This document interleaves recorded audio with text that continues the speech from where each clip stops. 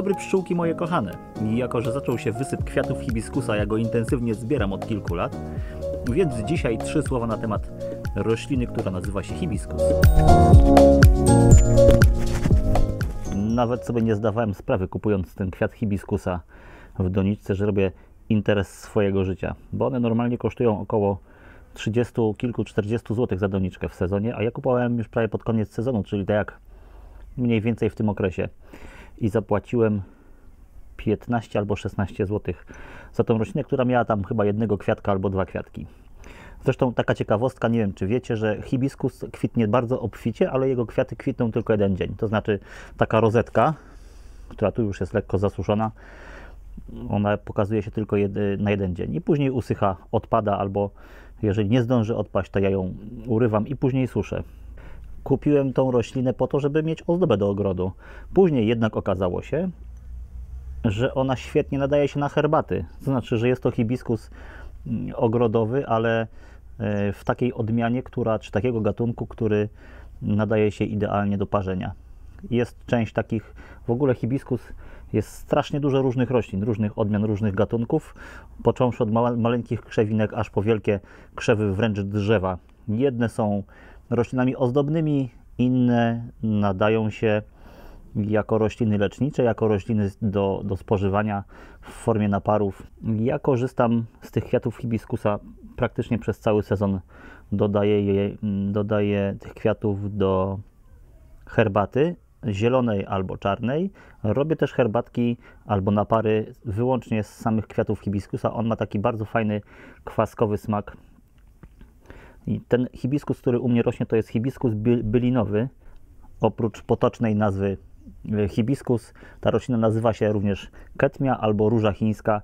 Być może pod taką nazwą słyszeliście albo widzieliście gdzieś w jakichś sklepach ogrodniczych tę roślinę. I teraz za Wikipedią. Kwiat hibiskusa ma właściwości obniżające ciśnienie krwi, a polisacharydy wzmacniają odporność organizmu. Działa on też kojąco, przeciwzapalnie oraz łagodzi podrażnienia. Uważa się także, że wzmacnia wątrobę. Ma przyjemny kwaskowaty smak i piękny czerwony kolor. Hibiskus to źródło naturalnej witaminy C oraz wapnia, witamin i soli mineralnych. Przyspiesza on przemianę materii, zmniejsza wchłanianie w jelitach, działa wzmacniająco na wątrobę i oczyszcza organizm. W afrykańskiej medycynie ludowej przypisuje się mu działanie antybakteryjne i moczopędne.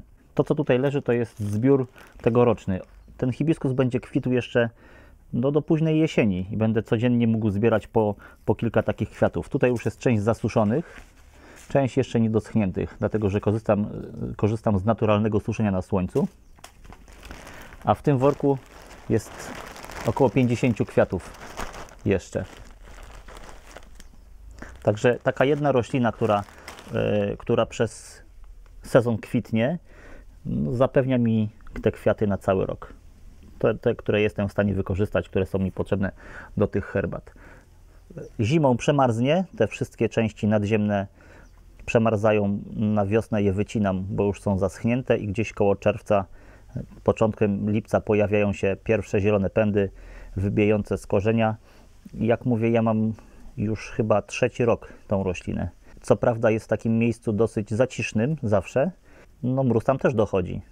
Także jak Widać te, te, te części rośliny ukryte pod ziemią, nic im się nie dzieje, nie szkodzi im mróz ten, który jest, który tutaj moje rejony, w moich rejonach się pokazuje. Nie kopczykuję tych roślin, nie podlewam, są w takim miejscu, które jest, powiedziałbym, że nawet dosyć suche. Na szczęście nie interesują się nim nornice, znaczy nią, tą rośliną, nie interesują się nornice, chociaż w okolicy gdzieś tam grasują to hibiskusa nie ruszają. Jestem z tego bardzo szczęśliwy i zadowolony, no bo tak musiałbym kupować następną roślinę i zanim ona odrośnie, no to pewnie jakiś tam czas znowu musiałby minąć.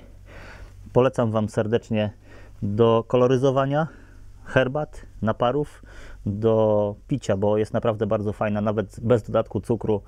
Bardzo fajnie smakuje, e, świetnie nadaje się do zaparzania. Serdecznie polecam, jeżeli gdzieś zobaczycie, a szczególnie teraz w tym okresie E, wczesno-jesiennym albo późnoletnim, może w odwrotnej kolejności, późnoletnim albo wczesno-jesiennym te rośliny już pojawiają się e, na przecenach, więc można je śmiało kupić. Ja korzystałem z dodatku hibiskusa, hibiskusa w herbatach ziołowych, e, w herbatach na parach z liści, ze świeżych liści winogron z dodatkiem hibiskusa właśnie i lipy. Bardzo fajnie się tam sprawdza i komponuje. Korzystałem z naparów z zieloną herbatą, z czarną herbatą. W tym roku zapewne dodam również albo w ogóle uważę piwo tymi kwiatami hibiskusa, ponieważ mam ich jeszcze trochę z ubiegłego roku, a szkoda, żeby zajęły się nimi mole, bo mole również lubią źle zabezpieczone, wysuszone kwiaty hibiskusa. Odczułem to na własnej skórze, więc przestrzegam przed przechowywaniem w nieszczelnych y, pojemnikach. Raz jeszcze polecam Państwa uwadze hibiskusa jako roślinę ozdobną, jako roślinę leczniczą i jako roślinę z świetnym zastosowaniem w naszej kuchni. Pozdrawiam szanownych Państwa, do zobaczenia następnym razem. Cześć.